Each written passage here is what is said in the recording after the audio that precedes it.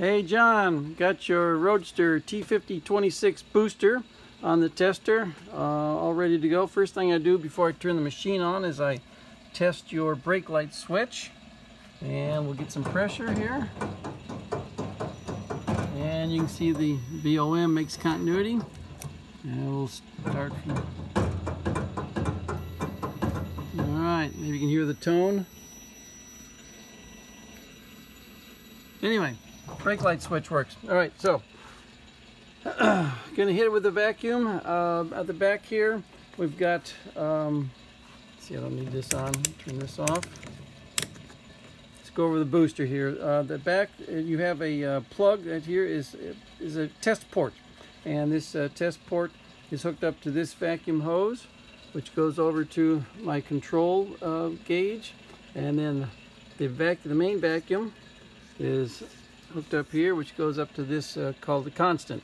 And what happens when uh, the vacuum on my uh, vacuum pump on the test machine uh, goes to work, both these gauges are going to register uh, the vacuum as produced by my vacuum pump. And then as the booster is activated, this gauge is going to go to zero. And, the, and the, as soon as it hits zero, the booster is fully activated.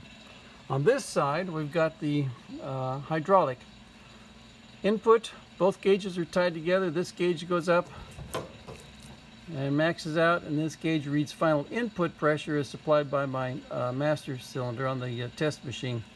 Output, this these two gauges are tied together. This gauge is going to go up and uh, max out and this great gauge will read final output pressure when you've got vacuum. Now then, without vacuum, the pressure in is the same as the pressure out. The, the uh, booster just bypasses, uh, just uh, pushes fluid in one side and out the other. So you can see you've got 350 in, 350 out, 350 out. Now then, since this booster is a major beast, you can see how big this can is and then how small the diameter is. We've got a 4 to 1 boost ratio, so this thing puts out a lot of pressure.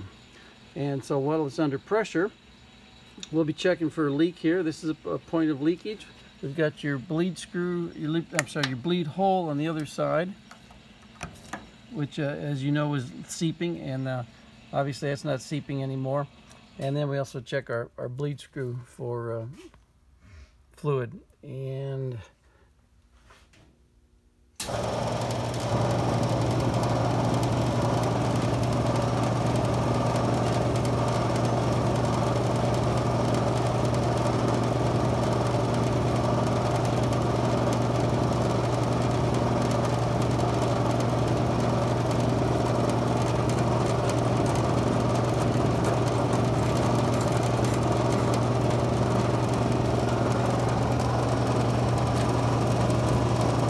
meant to say that uh, at 350 we're gonna want uh, we're gonna have a four four to one boost ratio. So uh, four times 350. So that's gonna be 350 700. So we should be getting 1400 psi out over in this area on that gauge.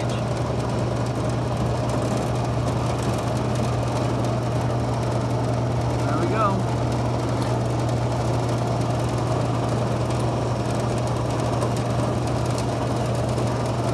while we're under pressure. Take a look around here.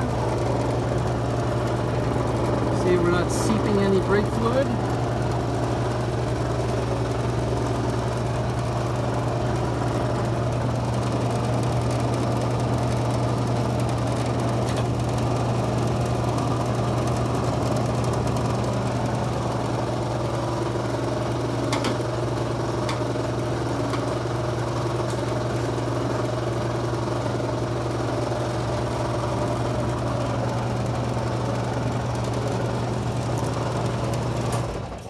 Got you a good booster. Now one thing I'm going to note is the these are 10 by 1 threads in here and we got 10 by 1 tapered threads on the brake light switch. Somebody screwed this thing in way too far. This is uh, just supposed to be screwed in until the uh, taper seals up.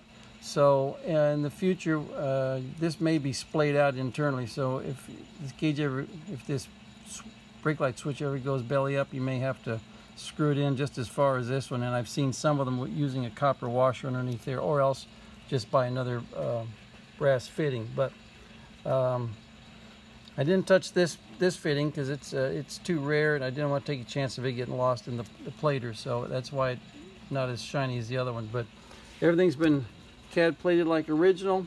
All the hydraulics have been replaced. As I mentioned to you, I had to reuse the uh, vacuum pieces, but they were in exceptionally good condition, so you are good to go. This is a good, really nice booster. Thanks for sending it to me.